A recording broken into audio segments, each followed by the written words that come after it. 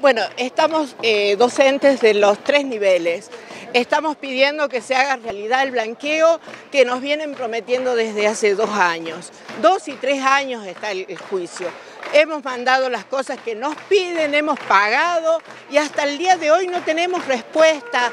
Eh, el gobierno dice que da, respuesta, pero de los que estamos para blanquear no llegamos al 10%. Y concretamente cuando se habla del blanqueo, ¿de qué se está hablando?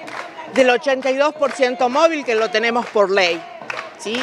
Hasta acá tenemos no tenemos el blanqueo de todo cuando nos jubilamos, tenemos nada más que el 82% del el sueldo en blanco, o sea, tenemos sueldo en negro y eso no está blanqueado. Primero nos decían que no había la conexión con el ANSE, es decir, el acuerdo con el ANSE.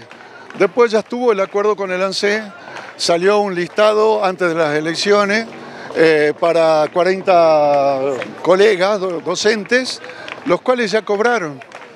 Y el resto hemos quedado ahí en la nada. ¿Cuántos son los docentes que están esperando el 82% móvil? Es decir, más de 600 en toda la provincia. Pero yo creo que acá lo más grave es lo siguiente.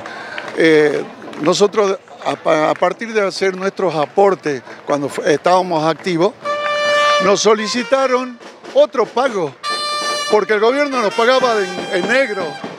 Entonces, cada uno de nosotros hizo un pago extra para que nos lleguemos al 82% móvil. ¿Y a dónde fue esa plata? No lo sabemos.